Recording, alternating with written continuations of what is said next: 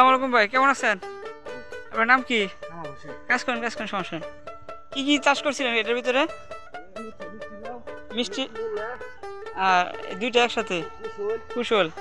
একই জমিতে তিনটা ফসল। মিষ্টি লাউ তো এই এই মূলা তো বিক্রি করা শুরু করে দিচ্ছেন মিষ্টি লাউ ইনশাল্লাহ কদিন পর থেকে শুরু হইব আবার। এক মাস লাগবো না। এটা এই মূলার শাক হইতে কতদিন সময় লাগল? সতেরো আঠারো দিন হয়ে গেছে। আর এই যে বাকি কিছু দেখতেছি এগুলো কি মূলা করবেন নাকি? এগুলো মূলার জন্য রেখে দিচ্ছেন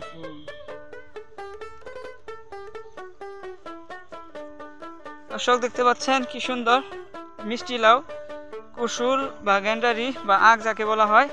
পাশাপাশি মিষ্টি লাউ চারা আছে মূলা আছে মূলার শাক। আবার কিছু রেখে দেওয়া হয়েছে সেগুলো আবার মূলা হিসেবে মূলা হইবে। তো এগুলা বিক্রি কি আজকে করবে? আজকে তো আর সময় নাই। কালকে, সকালে।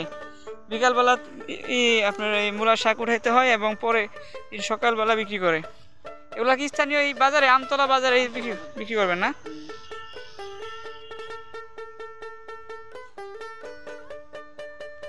এর আগে এই জমিতে কি চাষ করছেন?